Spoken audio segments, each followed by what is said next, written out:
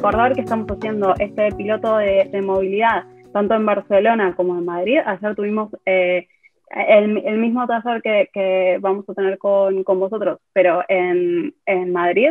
Y un poco la idea y el objetivo es medir ah, con estos sensores eh, de movilidad un poco cómo, cómo se mueve la ciudad y a su vez con el sensor de, bueno, de, la, de la planta de fresa también como la calidad del aire, ¿no? Porque los objetivos son como cuantificar ese transporte local y poder entender si podemos hacer algún tipo de recomendaciones o qué tipo de acciones queremos hacer eh, con estos datos y cómo los queremos utilizar.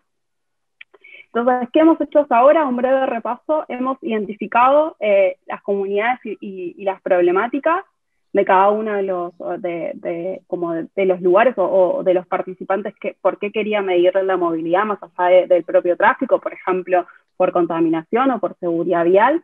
Después hicimos el envío y la instalación de los sensores eh, y también el tema de las, de las plantas de fresa para, para, un poco medir la contaminación del aire.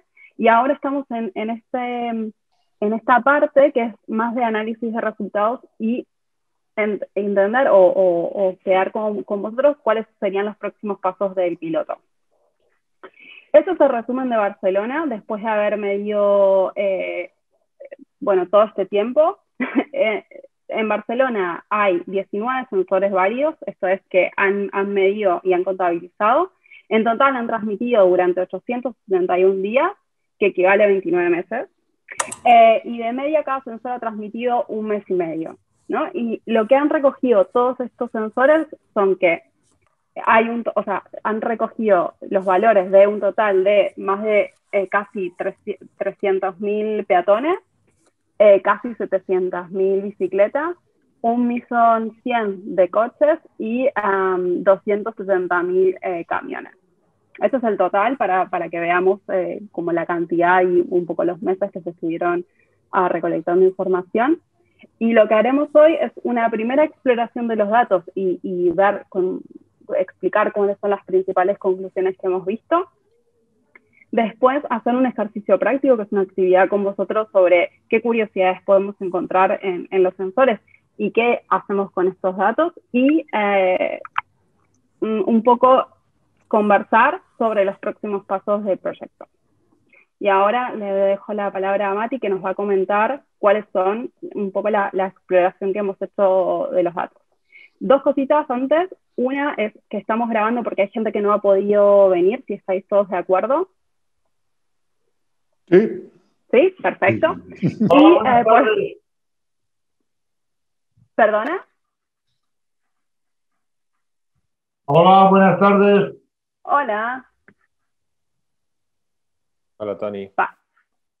Y una última cosa es que mm, em, no me acuerdo la segunda cosa, pero bueno, esa se me ocurrirá.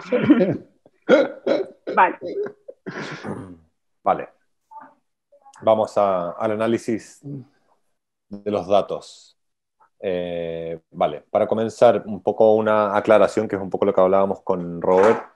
Eh, siempre tener en cuenta que estamos hablando de un ejercicio de ciencia ciudadana, es algo exploratorio, eh, no, no, es comparable con, con, las medidas oficiales que realizan los gobiernos, ayuntamientos, etc.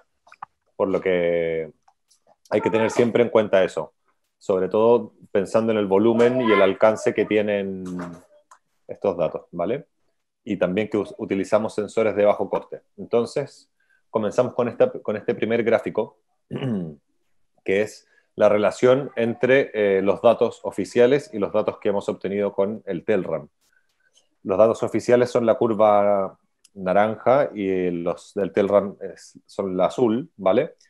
y hay una correlación moderada de un 0,48, donde 1 sería perfecta, 0 eh, sería que no hay relación, ¿vale?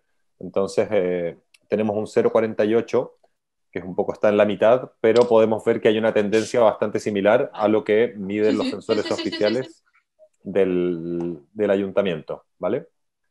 Eh, también aquí cabe destacar el punto de que lo que busca el proyecto es hacer una medición granular, que quiere decir que con sensores de bajo coste podemos estar midiendo en diferentes puntos donde la medición oficial no llega. O sea que la medición oficial, al igual que la nuestra, también tiene un sesgo al solo medir en ciertos puntos estratégicos y, y luego ser predictiva. No es que mida por, por todos los sitios, ¿vale? Vamos, la siguiente, Luz, por favor. Vale, eh, aquí podemos ver un poco también la evolución. Eh, en las barras de atrás está la cantidad. Perdona, Giovanni, es que he perdido la imagen yo del. Eh, tienes que. Me veo a mí, te veo, te veo, veo, veo bien el. Lo, ¿No ves el gráfico? Los gráficos no los veo, se me ha puesto un zoom. un Mira, zoom. arriba, la esquina derecha, superior derecha, ¿vale? Sí. Hay un... Debiera darte opciones de, de poder mirar la, la, pantalla, ¿no? ¿Puede ser? ¿Pero estás en el, en el Zoom, Ramón? Sí. Sí, sí. ¿Sí? Pero no sé qué ha pasado. esquina superior derecha. En la esquina superior derecha hay como unas líneas. Sí, te debiera dar unas opciones de... Horizontales. A ver, apretando ahí me dice... Ah, pero ahora me tapa todo esto. A ver. No lo puedo Pero no me, no me parece... No, no. O quizás abajo, Ramón, en, en, la barra de herramientas de la parte inferior. No sé si aparece algún logo que sea de Zoom, que es un logo como azul con una cámara dentro. Ese. A ver. Ok. Ahora sí. Gracias. Ok, perdón. No sé si había ido. Vale. Perfecto, perdón. Vale, seguimos. Entonces, la, en las barras de atrás tenemos la cantidad de sensores activos, ¿vale? Y en las curvas la verde son la cantidad de coches, eh, luego la, naranja las bicis y, motocicletas, la azul son los peatones y la roja los camiones y vehículos mayores. Un poco esta curva sirve para, ver la tendencia del comportamiento en los meses, sobre todo el 2020, que tienen mucho que ver con, la pandemia, donde en mayo eh, estábamos confinados, luego comenzaron a liberar un poco las medidas ya en agosto, septiembre se ve la liberación total y luego ya como se hubieron nuevas restricciones, ¿vale? Vamos con, con la siguiente, Lucas.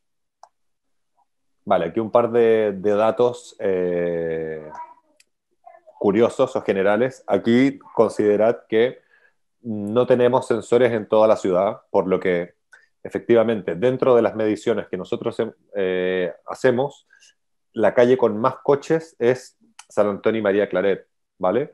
Que quizás no es la calle más grande, o sea, de hecho no lo es, no es la calle más grande de Barcelona ni la con más coches, pero dentro de, los sensores que nosotros tenemos es la más grande. Y la media de nuestra medida es 56 coches por hora y la más parecida de, de las calles donde tenemos un sensor es la Rambla de Cataluña, con 51 coches por hora. La siguiente, Lu. Luego con camiones, también nuevamente San Antonio y María Claret. De hecho, al comienzo del proyecto tuvimos un, tiempo un sensor en Aragó, pero que luego la persona lo desinstaló, así que no, no tenemos esos datos, pero probablemente hubiera sido Aragó. Eh, entonces, la calle con más camiones, San Antonio y María Claret, seguido por Rambla Cataluña, con una media de 15 por hora. 15 camiones por hora, ¿vale? La calle con más bicis, motos, la Rambla Cataluña, con 52 y luego San Antonio y María Claret. También tiene sentido este, esta diferencia porque, claro, Rambla Cataluña es una calle mucho más, eh, donde pasa mucha más bicicleta que, en San Antonio María Claret. En la siguiente. Y la calle con más peatones, Beiber, que eh, tu calle Ramón. Y con, con 42 peatones por cada hora. Y eh, una media de 14.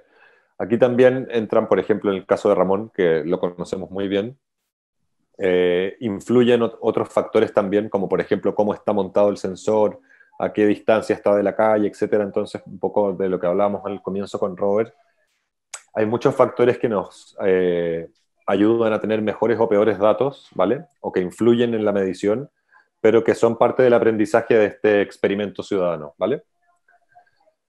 Seguimos. Eh, según nuestra medición, los días con más tráfico son los jueves, un pico. Esta misma tendencia se repite en, Madrid, el mismo día, eh, o sea, el, claro, el mismo día de la semana, en general para, casi todos los, medios de transporte. Seguimos, Lu.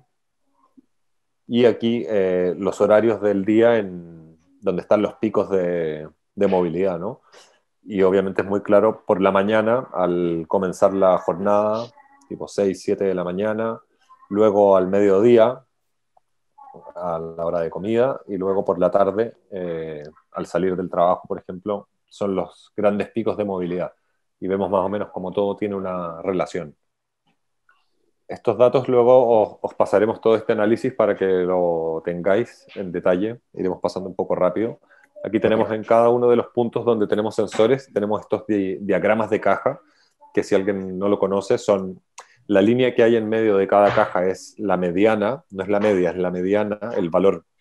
Eh, si ordenamos todos los valores, es justo el valor del medio de las velocidades, ¿vale? Y luego la caja tiene en las rayas de los extremos el valor máximo y el mínimo, y dentro de la caja el 25% hacia, hacia el máximo y el 25% hacia el mínimo. ¿Y por qué se hace así? Porque eh, si conocéis la clásica gráfica de la campana de Gauss, de la distribución, en esos dos eh, cuartos se concentra la gran masa de, de, los datos, ¿vale? Y por eso se ilustra así. Luego en, en los datos que os pasaremos también, esto es interactivo y podéis ver arriba cuál es eh, el número, cuál es la cantidad, etc. vale. Ahora, tráfico y contaminación.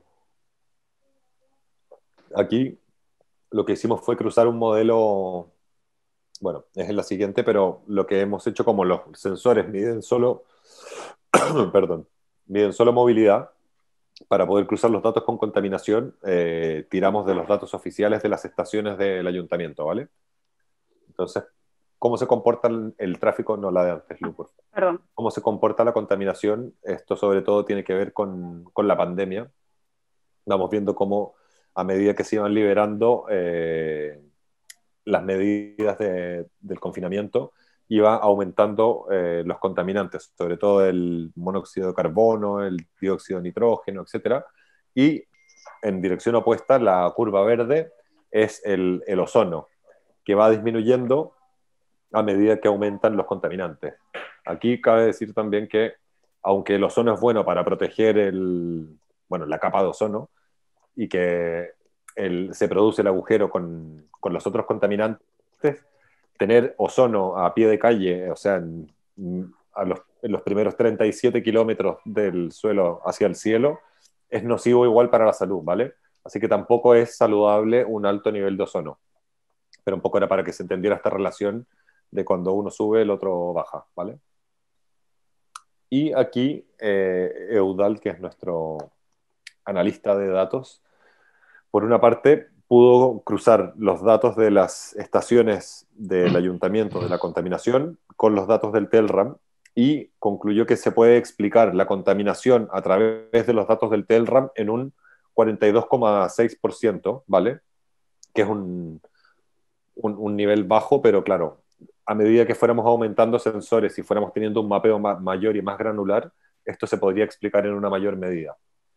Y eh, aquí podemos encontrar mm, básicamente dos conclusiones interesantes. Una, que los peatones están correlacionados con la contaminación, obviamente no porque como emitimos, eh, porque, no porque emitimos contaminación nosotros como, como seres, sino que eh, porque estamos relacionados donde hay mucho peatón, generalmente hay muchos coches, muchos camiones y mucho movimiento. Entonces, donde hay un alto nivel de peatones, generalmente hay un alto nivel de contaminación, ¿vale? Y por otra parte, también acabamos de mirar un estudio que se relaciona a eso, el, el efecto de la contaminación en su mayoría está relacionado a, a los vehículos grandes como los camiones y los autobuses, que también son muy diferentes entre ellos porque, claro, un autobús ayuda, por otra parte, a, reducir coches y bajar la contaminación, siendo un, buen sistema de movilidad, versus un camión que emite muchas más, eh, mucha más contaminación, muchos gases, eh, y, está más relacionado a los productos y a la, y a la economía. ¿no? Un poco cuando se han intentado tomar medidas desde el ayuntamiento, tienen que ver más con este transporte comercial y el delivery que con, que con la movilidad de personas, ¿vale? Pero vemos esta grande relación, como los coches grandes y autobuses que eh, generalmente están más relacionados también al petróleo y al diésel, son los que explican la mayor parte de la contaminación y no tanto, o no, o no en la misma medida, los coches y las motocicletas, ¿vale? Así que eso por ahora ya podremos entrar más en detalles y preguntas. Vale, gracias Mati. Eh, ¿Hay alguna pregunta hasta ahora? Porque ahora vamos a hacer lo que es un ejercicio práctico, es decir, ver dentro de nuestros propios Telrams o sensores, y si no tenéis sensores, ir a uno que, de una zona que conozcáis bien o alguna que tengas, tengáis ganas de ver, em, para poder contestar, o sea, justamente como hemos cruzado los datos con, con contaminación, lo que nos gustaría ver, eh, con contaminación y velocidad, perdón, nos gustaría un poco tener como su perspectiva de si estos datos tienen sentido o no. Por ejemplo, al principio Robert dijo, mira, la verdad es que estuve viendo y me parece que de, de camiones mmm, no podría ser esto. Entonces, todos estos datos nos ayudan a mm, un poco caracterizar eh, si los datos están bien o se tienen que adecuar, o, si tienen sentido, o cositas que nos vayan, que nos ayuden también a, explicar los datos que tenemos. Entonces, lo que vamos a hacer ahora es, bueno, si, alguien tiene una pregunta, o sea, podemos esperar hasta hacerlo. Si no, empezamos con esta actividad. ¿Cómo vais? ¿Han quedado demasiado... ¿Alguna pregunta, dato, comentario de, del análisis de los datos? Bueno, estos, estos análisis eh, nos los podréis enviar. Sí, sí, claro. los enviaremos todo. De hecho, Eudal, que es quien los analizó, se montó un mapa donde correlaciona las estaciones, etc. Pero, insisto, hay que ser eh, cuidadosos al mirarlo porque, claro, a veces, por ejemplo, hay un sensor que está, no tengo idea, en la Barceloneta y la estación eh, de contaminación más próxima puede estar en, eh, no lo sé, en la, en la ciudadela. Entonces, claro, no se explica directamente, pero es de lo que podemos tirar con, con la cantidad de sensores que tenemos en la ciudad, ¿vale? Vale, vale.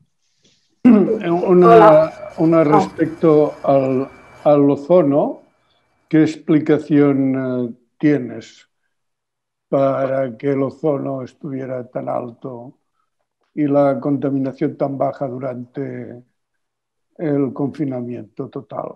O sea, cuando había confinamiento total, había poca circulación de coches, de camiones, etcétera, y por eso también un poco el, el, ozono se, se, dispara. Por eso el, el, agujero de la capa de ozono tiene que ver con la contaminación industrial, etcétera. Ya, pero en lugar de medir el ozono, ¿por qué no se mide el oxígeno, que es lo que nos interesa a nosotros respirar un oxígeno de calidad? ¿Cómo es que no?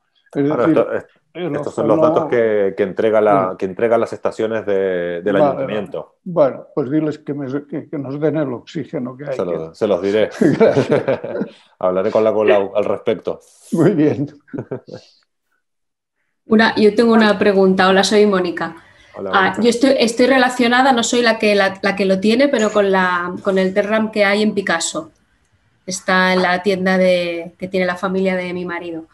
Eh, mi pregunta era sobre las estaciones, si habéis utilizado para hacer el cruce estaciones de fondo o de tráfico, o todas.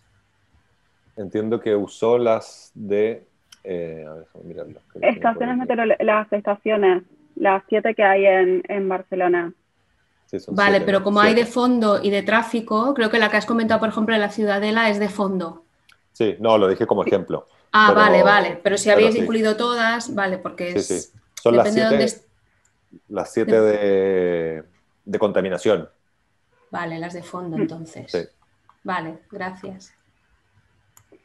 Vale, entonces, si, no hay ninguna más, hacemos la actividad. Perdón. En el, mapa que os pasaremos, eh, están localizadas geográficamente, o sea, se pueden ver eh, como unas torres y los sensores, ¿vale? Sí. Si, si queréis, lo muestro muy, muy rápido, pero realmente después, en todo caso, sí. Segundo, acá, no, este no. Ah, no lo tengo acá. un segundo.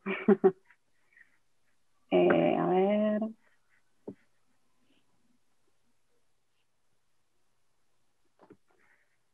Aquí, aquí. Perdón, lo tenía, pensé que lo tenía preparado, pero no lo tenía preparado.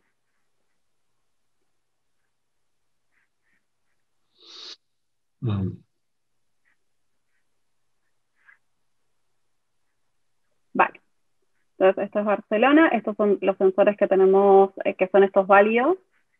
Eh, y estas son las estaciones. Está la de Poblenou, la de la Valdebrón, la Fabra, la Palau Real, Sanz y la de Ciudadella. Aquí se puede ver y que, la de Gracia. por, ejemplo, hay, hay, sensores que están muy cerca de una estación donde los datos se podrían tener una relación, pero claro, hay otros como este, por ejemplo, que está que, que es como la meridiana esto, ¿no? Acá arriba, mm, derecha, al otro. arriba, arriba, ese, no, el, el, de Telram, el de Telram. Ah, vale. Aquí, ese, por ejemplo, ese es el de San Antonio y María Claret, claro.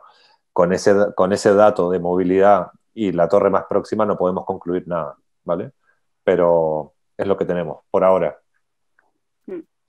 Sí, un poco es, es una de las de los objetivos de este taller es entender con qué otras con, qué otros datos o qué otras cosas podemos hacer con estos datos que, que os estamos eh, enseñando. Vale, entonces vamos a hacer este. Uy, tengo un problemita con las pestañas hoy. Vale, entonces vamos a hacer como dos cosas. Uno es entrar a eh, vuestro Telram. Entonces, Ana seguramente lo pondrá en el chat, pero es telram.net y eh, tenéis que buscar vuestro sensor o el sensor que tengáis más próximo o que conozcáis la casa. Entonces, por ejemplo, yo voy a ir a Telram ahora, si todo me deja. Aquí. Y, por ejemplo, eh, está el, el dueño del Telram de San Agustín, por ejemplo. ¿No? Entonces lo veo. ¿Sí? Ah, vale. Entonces lo que vamos a hacer es revisar, por un lado, si, como hemos visto que la contaminación está muy relacionada con, eh, con el tema de los camiones y la cantidad de camiones que, que pasan por... Luis, Nos, nos, dicen por el chat que el dueño del sensor de San Agustín sí que está en la sesión. Entonces, no oh, sé vale, vale, vale. Vuelvo, vuelvo. vuelvo, vuelvo, vuelvo otro. A ver, entonces, San Agustino, porque este lo va a tener que hacer el dueño. Entonces, vale. Entonces, mientras tanto, podéis hacerlo vosotros mientras yo busco eh, España otra vez.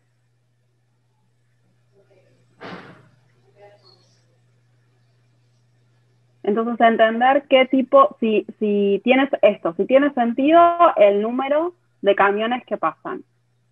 Y por otro lado, Roger de Flor, ¿está el dueño? Sin otro. Voy a Rambla Cataluña. Rambla Cataluña. ¿No? Vale, voy con este. Voy a abrirlo en una pestaña nueva, así me hace todo esto. Entonces, revisar qué tipo de, o sea, si hay muchos, bueno, en este no justo no se ve nada, pero eh, si tiene sentido el porcentaje de, o sea, la cantidad y el porcentaje de camiones, y esto nos lo, nos lo pueden ir diciendo en una discusión o lo ponen en el chat. Y por otro lado, Sí, la cantidad. Uy, justo este no tiene nada. A ver otro. Eh, y después, si la velocidad, si la velocidad, si hay muchas, muchos de los coches que pasan por vuestra calle, exceden el límite de velocidad. Por ejemplo, eh, esta que es Rosa de Flor, me imagino que debe ser 30 al máximo. Entonces, por ejemplo, eh, como, no, conozco, no, puedo decir, pero eh, por ejemplo, ya sé que hay un 9,5, o sea, hay varios, varios coches que exceden el límite de mi casa. ¿Sí? Entonces, si hacemos este ejercicio, ahora voy a dejar de compartir. Entonces vamos viendo eh, y ahora no puedo sacarlo. Ahí está. Ahí está. ¿Qué, habéis visto? ¿Habéis tenido, por ejemplo, Robert nos decía, eh, Robert nos decía que eh, el tema de los camiones en su casa no, no iba muy bien, ¿no? No lo creo. Estoy mirando ahora mi página, Top 10 Peak Moments y sabe que estoy en Kaitopasi y a veces dice, por ejemplo, top 10 cars.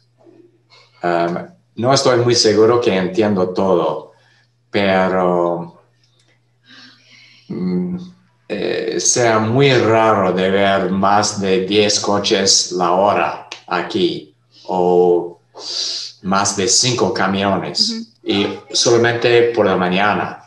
Y a veces dice que hay más de cientos y cientos y cientos de bicis. Entonces, no entiendo cómo interpretar lo que dice el sensor aquí. Vale, en general lo que uno ve del sensor cuando uno entra por, por o sea, cuando uno entra a verlo son dos semanas. Y esto es el agregado de dos semanas tal vez, no, no sé cómo lo habéis hecho, pero eh, en general es como que uno, claro, ve varias, varios más de lo que uno pensaría en un día, ¿no? Porque claro, es un agregado de todos los coches que pasan a lo largo de dos semanas. Eh, entonces, claro, mm, hay que ver si esto, si esto realmente es una, es una locura para lo, que, para lo que pasa en tu casa en general o no. Y después, otra cosa, ¿a alguien más le pasa esto? ¿Tiene sentido la cantidad de camiones que pasan por, por vuestra casa? Eh, no, no. Ah. La, mía sí, la mía creo que es correcta. La única cosa que pone bicicletas y no son bicicletas, son motos, motocicletas. Aquí no pasan bicicletas prácticamente. Vale, súper bien no, no, lo diferencia. Claro. Porque como, lo hace, como un reconocimiento por el volumen del objeto, bici, moto, es igual pueden pasar lo que dice en motocicletas, pueden ser un 10% de bicicletas y el 90% son motocicletas. Claro. A, a Ros d'Olano, bueno, el, en el meu sensor, a nivell de velocitat, per exemple, supera el 80%, supera la velocitat permesa mm. i és possible perquè des de fa uns mesos està a 10 km per hora, però ningú compleix. O sigui que Eh, perfectament, perfectament el, segur que està funcionant bé el sensor. Sí, sí. Des de pressa de lo normal. Sí, sí. Fins, fins, fins allà a les 8 o així, bueno, a les 10 del matí passen a tot aquest any. Sí, sí. Vale. vale. Y para, sí, un segundo, a ver, eh, ¿y alguien más? Por ejemplo, Teddy, a Mónica, a Azu. ¿Se nos escucha a nosotros? Sí, vale. Nosotros en María Claret eh, tenemos un exceso de eh, velocidad de 5,73, estaba contando, y creo que puede ser posible porque hay bastantes semáforos. Es una calle donde hay bastante tráfico, tenemos un carril bus, un carril de bicicletas y dos carriles normales. Hay mucho tráfico, pero por contrapartida hay bastantes semáforos. Llegamos de la meridiana, que los coches también tienen un poco una barrera, con lo cual podría ser, es, eh, tiene sentido. Y en cuanto a camiones, eh, que son un 15%, no estoy seguro, pero podría ser, sí que podría ser correcto también. Bueno, incluso más. Lo, que sí que vemos un dato quizás un pelín más raro es eh, la dirección, que nos dice a veces que hay coches o vehículos que vienen de derecha a izquierda y la calle solo es de izquierda a derecha. ¿Peatones, por ejemplo? ¿El qué? ¿Peatones? No, no, es, no son peatones, de hecho estaba aquí arriba, ¿no? Nos salen incluso algunos camiones y vehículos, que fue, fue algo chocante, empecé a fijarme y sí que realmente el camión de la basura, por ejemplo, a veces va a la esquina, da marcha atrás, o algún vehículo de limpieza, etcétera. Pasan muchas motos, porque hay un, mecánico de motos, pasan muchas motos por la acera eh, en contradirección. No sé si en este caso los contarían como vehículos o como bicicletas, mm. quizás por la velocidad los cuenten como vehículos. Pero sí que nos chocaba que había muchas, muchos vehículos en general, incluso camiones y coches que están marcados en contradirección. Bueno, aquí sí que hay peatones, hay bicis, que tiene sentido por el carril bici, pero luego pone coches y camiones en sentido contrario. ¿A qué, ¿A qué altura tenéis el sensor? ¿En qué piso estáis? Es un primero. Bueno, sí, es un primero, un primero que es un, un, segundo en realidad. O sea, no es un entresuelo arriba. No, es, una, casa con dos plantas. Está, la primera planta está a nivel de calle y la segunda planta, que es donde está el sensor, es el primer piso. Vale, vale, sí, debiera, debiera ser una altura correcta. Y lo estamos enfocando, no sé si tiene sentido o puede afectar, estamos enfocando, queremos, a las dos aceras y a, la, y a toda la calle. Sí, sí. Claro. Sí, no lo sé. Sí que, sí que existen vehículos ¿eh? que van en contradirección, hemos, nos hemos dado cuenta después de, después de ver los, los datos de la... Mm. ¿Ah, sí? ¿Que hay? Y que los hay como esto, como lo que decía, el camión de la basura a veces llega a la esquina, da marcha atrás para recoger ah, vehículos de limpieza del ayuntamiento, estos pequeñitos así de, limpieza que también van en contradirección a las motos. Lo que pasa es que nos parece un porcentaje quizás demasiado alto. Ya. Sí, sí. Una cosa que fet recordar en Teddy és que eh, jo només agafo una cera, o sigui que el número de, de peatons tindria de ser doble. Mm. Com a mínim, eh? Ja. Perquè aquella cera que jo agafo és la petita, que fa un metro i pico, i la més grossa és la que no agafa, que claro. és per allà on passa més gent. Uh -huh. el, nivel, el nivel de afluencia de coches también puede ser por la meridiana, porque no sé si sabéis, pero hay diferentes reformas en lo que es la calzada central. Entonces nuestra calle se está convirtiendo en una de las calles principales para entrar en la ciudad. Claro. Y al final todo lo que son las obras que están haciendo va a llegar hasta San Antonio María Claret. Es un poco raro, pero puede ser que tenga sentido, ¿no? Porque Aragón se está reduciendo con el carril bici, en fin. Eh, no sé si... Bueno, eh, no, está súper bien para, para ir vigilando también. Eh, Azu, Pablo, ¿has elegido alguna? Sí, un segundito, Robert, a ver si hacemos como una vuelta y después volvemos, ¿sí? Sí, por mi parte, bueno, no sé, creo que soy la única que ha tenido problemas con el sensor. Eh, no sé si ha sido el wifi, es el aparato, o sea, lo hemos intentado como varias veces. sí, hemos conseguido, o sea, siguiendo los pasos, hemos conseguido ver la imagen del sensor. Nosotros lo tenemos en Payars, en un primer piso también. Eh, y en principio sí que recoge la imagen de las dos aceras. estamos justo enfrente del edificio de Cacaolat antiguo y hay bastante afluencia, Payars. Eh, pero algo pasa con el sensor que, bueno, eh, incluso hemos tenido como tentativas para quedar con Matías pero resulta que, bueno, la pandemia no ayudó tampoco, hemos tenido un par de cierres del laboratorio y, y tal, y ha sido como complicado gestionarlo también porque yo tampoco vivo aquí al lado para poder trasladarme y que, o sea, bueno, en fin, eh, manzanas traigo, o sea, tremendo el tema, no, no lo hemos podido solucionar.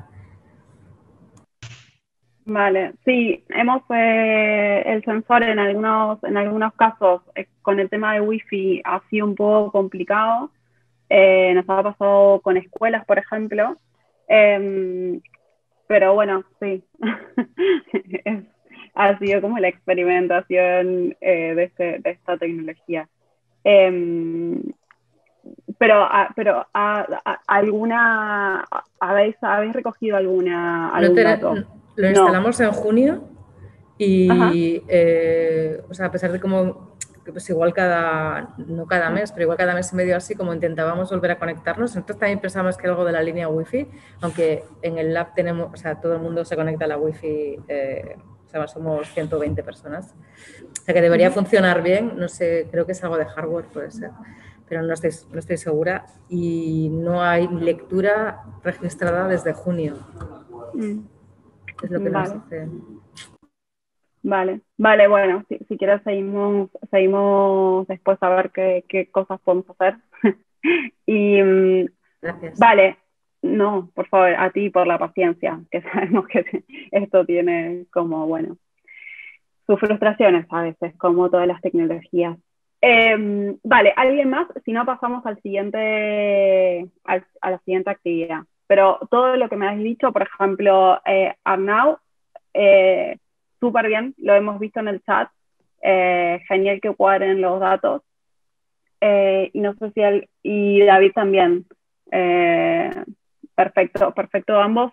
y está, está buenísimo entender cómo si si eso, si, si hay como algunas cosas que no cuadren o, o, toda, esta, toda esta caracterización que nos habéis hecho, nos sirve muchísimo para entender mejor los datos.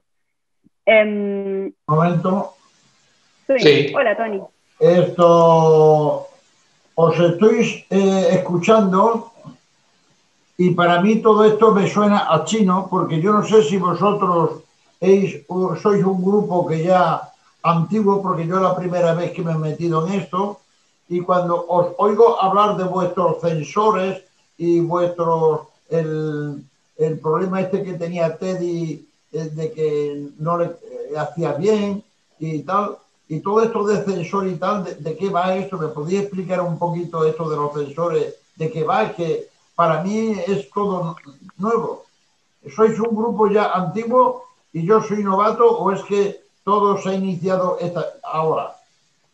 Perdona, Teddy, sí, eh, Tony, perdón, Teddy no. Tony, em, sí, sí, esta es, como, es, uno de los talleres que hemos hecho. Al principio pregunté ver si había alguien que no había venido, pero todos más o menos sabían, así que lo siento porque seguimos de largo. Pero este es un proyecto que lo que busca es recoger em, datos de movilidad con este sensor, que muchos eh, lo tendrán en vuestra ventana, y lo que hace es mirar, eh, contabilizar o reconocer eh, coches, camiones, bicicletas o motos y peatones que pasan por, por la calle. Eh, y eso es lo que estamos haciendo. Y los datos que estamos viendo son de, todo, de todas estas personas que, que veis aquí, son participantes que han estado recolectando esta información y hemos analizado los datos y este es el, taller de, de, análisis de los datos. O sea que este, este aparatito ya lo tenéis de, de tiempos atrás, ¿no? Sí, hemos empezado hace varios meses, algunos, bueno, algunos eh, antes, otros después, pero sí, desde Xavi, desde mayo, ¿no? desde el año pasado. Entonces, si no, si no os importa, como eh, eh, soy un, un, novato muy atrasado, muy atrasado, que no tengo ni idea de qué va esto y que no puedo colaborar con mi pequeñito granito de arena, pues si me permitís, yo os doy la enhorabuena a todos, os, os aplaudo y si me permitís, me marcho porque, porque no puedo ayudaros. Me gustaría, yo soy una persona que me gusta mucho colaborar aquí en la barriada, colaboro con la asociación de vecinos, con los mozos de guarda, eh, o sea, es muy largo, muy largo, etcétera, etcétera, y quería colaborar con esto, pero claro, si no tengo el censor, si no sé de qué va, y esto es antiguo, y si, si, me permitís, yo me marcho. Os deseo que tengáis eh, muy buen final de todas estas experiencias y cuidaros mucho. Gracias, Tony. gracias. Gracias, Tony. Gracias.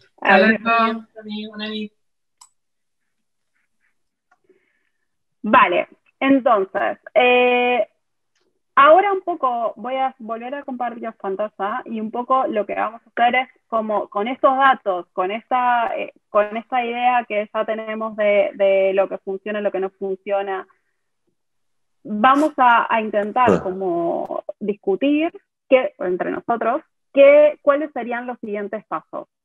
Y aquí otra vez Mati, lo que quería decir, que me había olvidado al principio, era que éramos Lucía, Matías y Ana, de Wicam, por si no nos conocían. Eh, y esto es lo que me había olvidado, la segunda cosa que al principio había dicho. Vale, entonces, Mati. Vale, bueno, qué lástima que perdimos a Tony, que nos hubiera venido bien en este momento, pero bueno. Eh, vale, ¿qué podemos hacer con, con, estos datos, con todos sus defectos y virtudes, ¿vale? Eh, un poco para para explicaros e inspiraros, os cuento un proyecto que algunos conocéis ya, que realizamos en la Plaza del Sol en Gracia hace ya un par de años, ¿vale? Eh, donde con la comunidad de Gracia que tenían un problema muy grande, o sea, con la comunidad de la Plaza del Sol, que tenían un problema muy grande de ruido, de contaminación acústica, mm, principalmente por la fiesta, eh, trabajamos con ellos, instalamos varios sensores de ruido en, este, en ese caso, eh, dos por casa, instalamos como 30 sensores y hicimos un mapeo muy granular, etcétera, con sensores de bajo coste, igual que en este caso. Y eh, los vecinos y vecinas tenían este problema hace 20 años y nunca habían conseguido soluciones. Y un poco lo que ocurrió fue que con los datos que recogieron, que ya no eran percepciones, sino que eran números, ¿vale? Eh, eran datos reales, más allá de que se pueda cuestionar su calidad, empujamos mucho a nivel comunicacional e hicimos con ellos como una intervención y eh, básicamente diría que por el, empuje comunicacional y por, y por ser una iniciativa ciudadana, lograron generar cambios a través de la, del ayuntamiento que no se generaban en, 20 años. Por ejemplo, lo primero que hizo el ayuntamiento obviamente fue enviar a la Guardia Urbana cada noche a sacar a todo el mundo, que no era la idea, ¿vale? Luego cambiaron el horario de, de la limpieza, de mojar eh, la plaza, que tampoco era la idea, pero ya venía muy bien porque tenían un problema con el, con, ese, con el ruido de, la limpieza. Luego eh, pusieron unas jardineras para reducir el espacio, luego dinamizaron actividades, hicieron una campaña como de marketing para respetar el sueño de los vecinos, etcétera, hasta que también al final instalaron un, juegos de niños, etcétera. No es que se haya solucionado el problema en un 100%, pero voy a que eh, con organización y datos se pueden generar cambios, ¿vale? Para que lo tengáis en mente. Entonces, eh, este ejercicio de qué podría ser el próximo paso tiene tres componentes. Primero, ¿cómo podemos coger estos datos? ¿Cuál es el tema que nos interesa? Eh, la contaminación, la salud, los tiempos de desplazamiento, el diseño urbano, la seguridad, etc. Otro componente es qué hacemos o qué podríamos hacer. Eh, una intervención urbana, una campaña de comunicación, un proyecto de educación, eh, más ciencia ciudadana, influir en políticas públicas o incluso un emprendimiento, ¿vale? Y por último, ¿qué necesitamos para esto? ¿Necesitamos más datos de movilidad o necesitamos otros datos para cruzar, como por ejemplo la contaminación, como lo hicimos en este ejercicio? ¿O necesitamos tirar de expertos? ¿Necesitamos financiación o medios de comunicación o incluso políticos? Entonces, Aquí un poco les eh, dejamos la palabra si alguien tiene alguna idea, porque sé que, por ejemplo, Xavi ya lleva mucho tiempo en, este activismo ciudadano, cogiendo datos y... Pero ¿cómo, ¿Qué podemos hacer con ellos? Por ejemplo, ayer en Madrid surgieron básicamente dos grandes ideas. Una era eh, utilizar los medios digitales para generar conciencia a través de un poco una automatización de datos y hacer como comunicación. Y por otra parte, eh, una cosa más de educación de cómo se puede integrar estos proyectos de sensorización medioambiental en el currículum eh, de las escuelas, de los colegios y eh, generar un poco datos y conciencia eh, a través de esta vía. Entonces aquí ya os dejo la palabra al que se anime o la que se anime. Pues yo quiero, Xavi Marín del Ros de Olano, Sí, hola. Eh, què tal? Eh, ha dit, ha dit eh, una cosa que jo crec que és fonamental, que és que no hi ha cap vehicle que vagi a menys de 10 per hora. En cap carrer dels que estan senyalitzats a Gràcia. En el meu comptador mm, només hi ha un, si passa un 70% de peatons pel carrer i el 80% eh, aproximadament passen dels, dels 10 per hora. És a dir, que suposant que els peatons no deuen anar a més de 10 per hora, perquè els peatons també els hi deu comptar la velocitat al sensor, vol dir que no hi ha cap vehicle, ni cap bicicleta, ni cap moto, ni cap cotxe, ni cap camió que vagi a 10 per hora. Per tant, jo crec que això és un fet que ja políticament es pot denunciar perquè És com si en un lloc de la carretera que la velocitat està limitada a 50 per hora, la majoria de la gent és a 100. Seria una barbaritat. Per tant, jo crec que aquí aquest, eh, si és, bueno, clar, el sensor diu que no és molt exacte i tal, però en fi, les dades són apabullantes, vaja, és una cosa tremenda. Y Ramón, Ramón, ¿y por qué, por qué es un tema relevante para ti? ¿Por la seguridad, por la salud, por la contaminación? Un poco antes de, de, de con Xavi. Mm. no sé. Eh, eh, ¿Cuál es el eh, tema que te preocupa? Bueno, todo. Es decir, es como si alguien va sucio o escupe por la calle, ¿no? A ver, me pasa un coche por el lado mío que va a 40 por hora, 30 por hora, y yo tengo que aguantarme porque tengo que ponerme al lado y la señora que va con el carrito y tal, y todos vamos ahí apretados para que un 10% de los usuarios, que son los que van en coche, vayan como señores, ¿no? Y el 70% que vamos andando, tenemos que jodernos allí, tal, no? Pues a mi em sembla que això es pot denunciar, perquè és una falta de compliment de la llei. Yeah. O sigui, i de les normes de convivència també. Però, en fi, això de les normes de convivència ja seria més complicat. Però si l'Ajuntament posa un lletrero que hi posa 10 per hora i que jo tinc el mateix dret de caminar pel mig del carrer que un cotxe, pues això s'ha de respectar. I aquí això no es respecta, i no ho respectem i no es pot. I jo no posaré pas al mig del carrer per demostrar-li al senyor del camió que jo tinc el mateix dret que ell, no? Perquè això... Els venants al carrer. Porque en el cole de mi hijo se, ma mañana eh, cierran en tensa los padres. Ah, bien, bien. Claro, sí. claro, claro, es que es un La revolución de los padres. Xavi, vale. què dius? Sí. Ah, perdó. No, sí, em sembla que havia demanat paraula no, al, al TEDE. Al TEDE, sí. I després, si voleu, jo explico una mica la meva experiència, però... Val. I, i després, després poseu... Vale, Teddy, Xavi y Josep. Bueno, será Karen. Está Teddy, pero bueno, yo, sé Karen y nada, queríamos comentar lo que os explicábamos de lo que es el rediseño de la meridiana, que de hecho es un proyecto súper interesante porque intenta pacificar, reducir la cantidad de coches, pero claro, esta reducción tiene una afectación, ¿no? Como es lo que comentábamos de nuestra calle antes era muy tranquila y ahora es bastante más movimentada. Pero más allá de lo que es esta remodelación de la meridiana, también hay otro proyecto que también ha habido participación ciudadana, que es justamente las superillas que se está planteando en esta zona.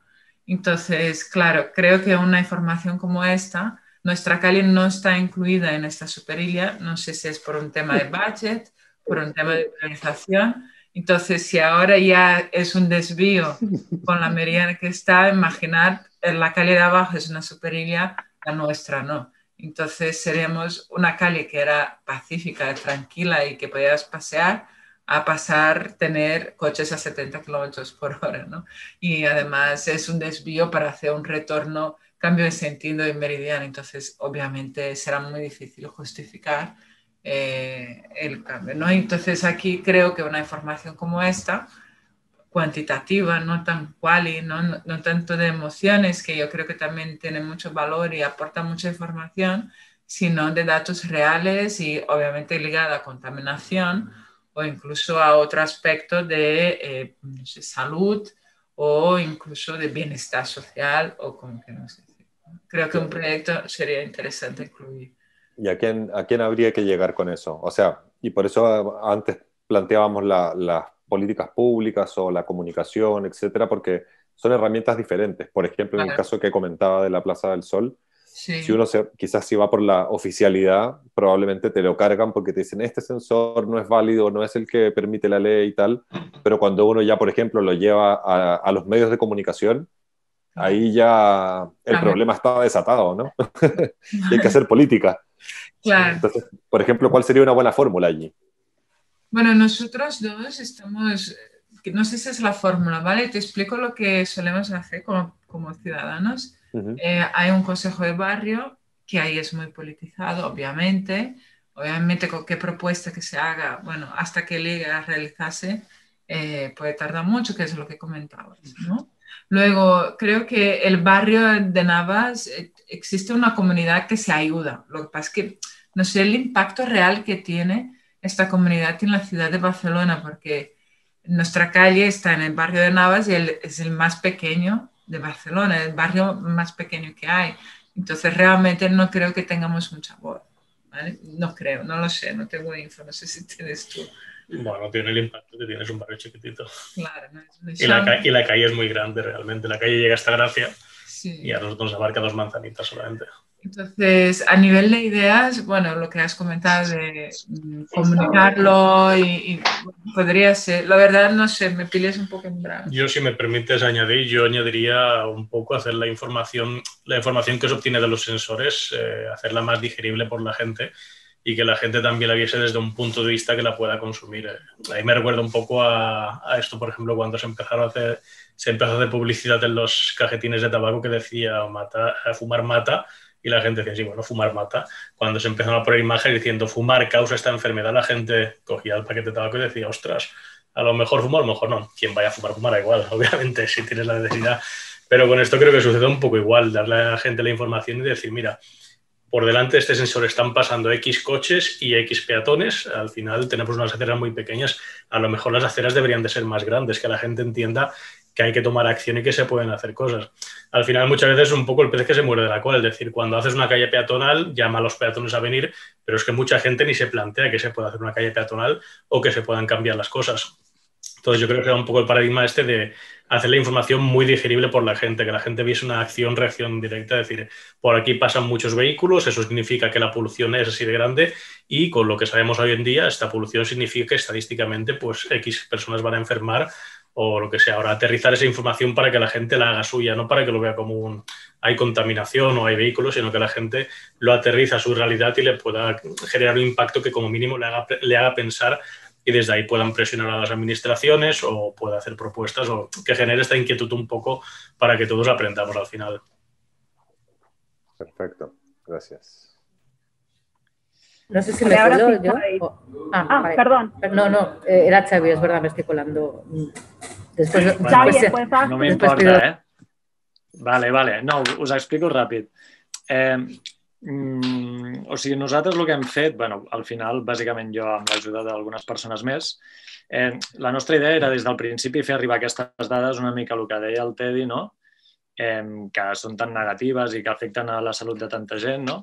fer-les arribar una mica als usuaris del carrer.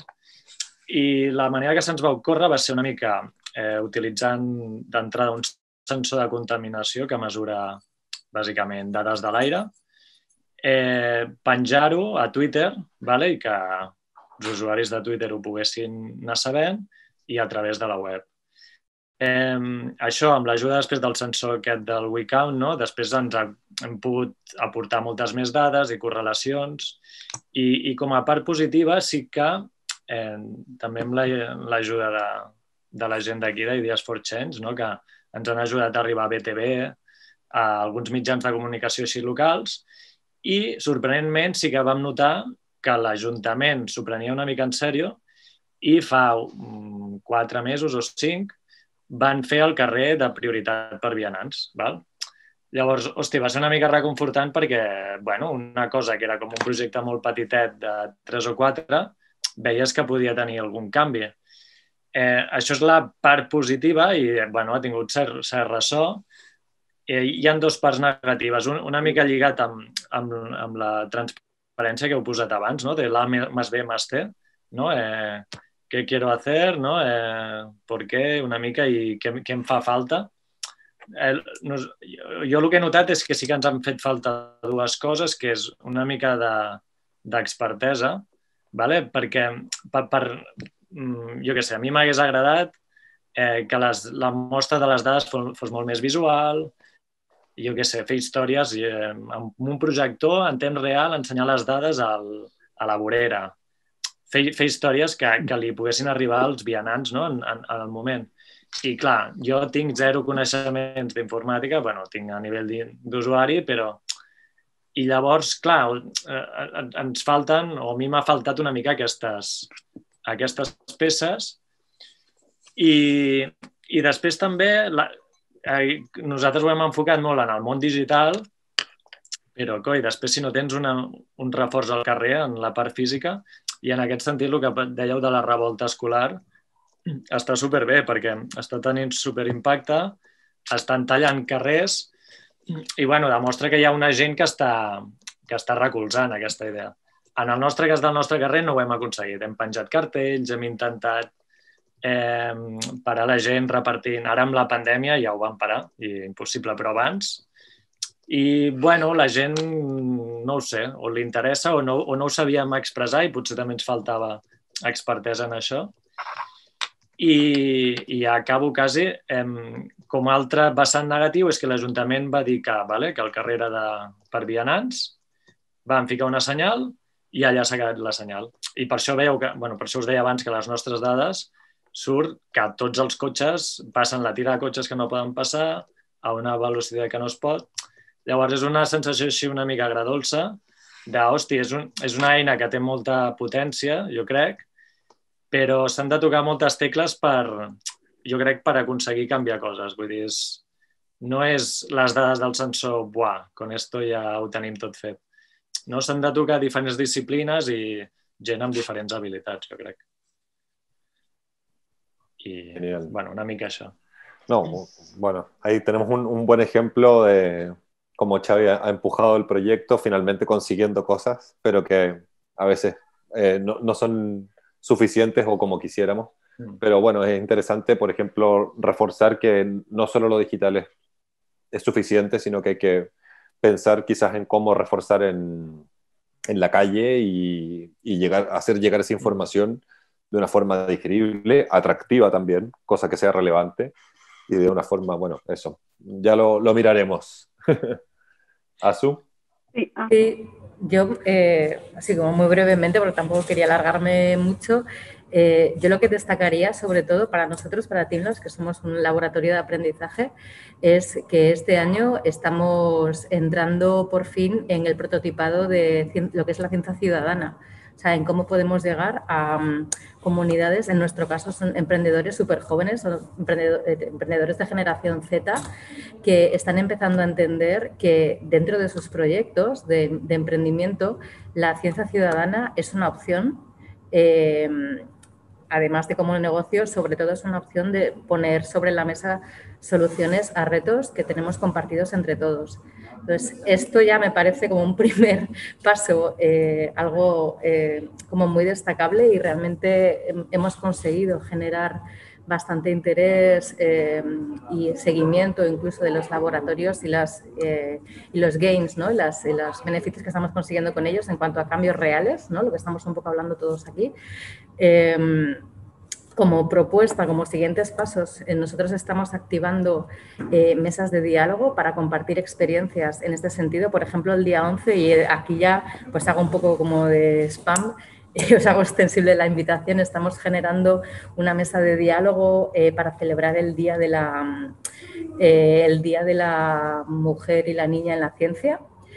Eh, y en el que queremos destacar como estos perfiles eh, que pueden ser profesionales súper tech y súper avanzados, eh, pero quizás no, perfiles mixtos, en los que, pero en los que el diálogo es importante porque podemos encontrar esa manera de ensamblar todas las conocimientos y sensibilidades que tenemos como comunidad y como, y como sociedad también, ¿no? O sea que es verdad que hay distintas maneras de entender sensibilidades, expectativas también, frustraciones, a veces como que los ritmos no son los que, los que esperamos todos, pero es que poner en marcha a toda una comunidad es algo que lleva tiempo y que requiere paciencia.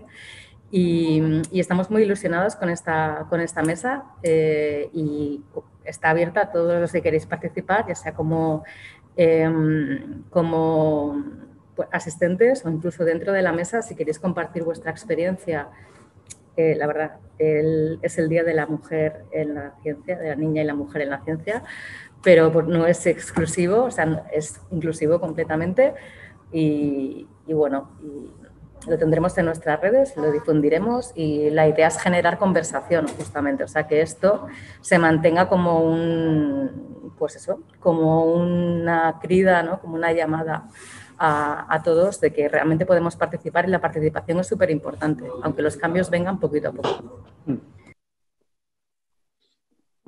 Súper interesante, Azu, sí. Lo siento. Que te teníamos en la lista y te faltamos. Tenemos aquí Tecat. Perdona. A veure, eh, jo precisament avui, eh, bueno, resulta que aquest carrer fa alguna així com 11 anys que estem demanant que el facin peatonal, o sigui, 15 dies, no? i hem plantat pancartes, ens hem mogut, eh, és un carrer que fa uns 300 metres de llarg o 400 i fa eh, 7 metres d'ample, amb la qual és completament absurd el trànsit que hi ha, que és el segon que passa més d'allò. Llavors deve haver-hi una contaminació escandalosa aquí, no?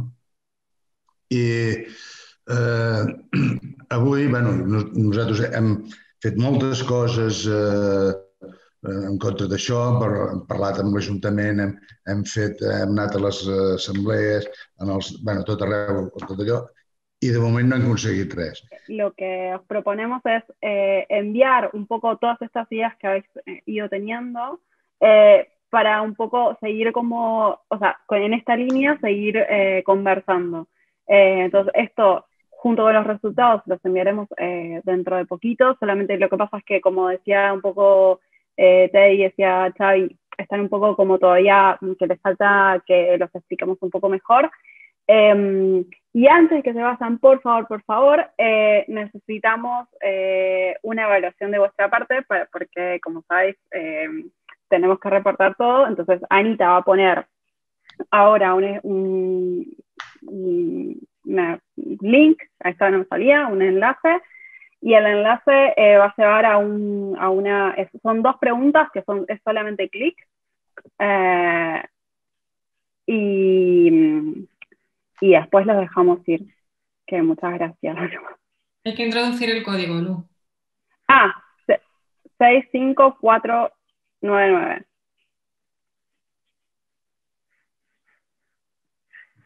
Sí.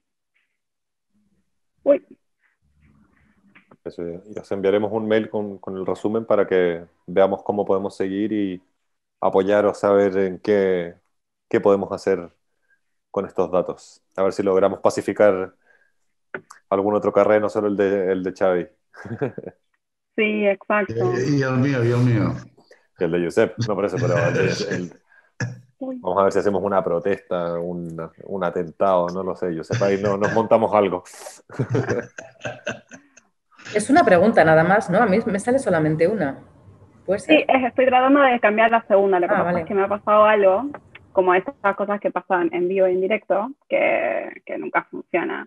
Vale. Entonces, tranquilos, tienen que ir. Eh, sí. Está bien, no, no hay problema, es que no puedo cambiar la segunda, lo siento. Pero bueno, muchas gracias por esta pregunta que habéis respondido.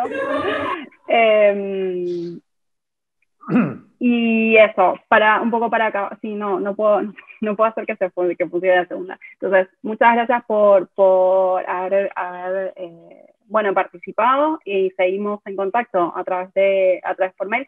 Si hay alguna cosita que quieran deciros, decirnos antes de que, de que os enviemos el mail, ya sabéis nuestro, nuestro correo, eh, que es wecount.com, eh, y seguimos en conversaciones. Eh, la idea sería esto, empezar a como un poco refinar lo que queremos hacer con esto y a, bueno, a ver qué, a ver qué puede salir de bueno del proyecto. Así que os agradecemos muchísimo eh, el tiempo y toda la paciencia que han tenido con este, con este sensor y bueno, y que a seguir recolectando y trabajando por la movilidad sostenible. Muy bien. Gracias. Gracias. Gracias. Hasta la próxima. Hasta la próxima, gracias.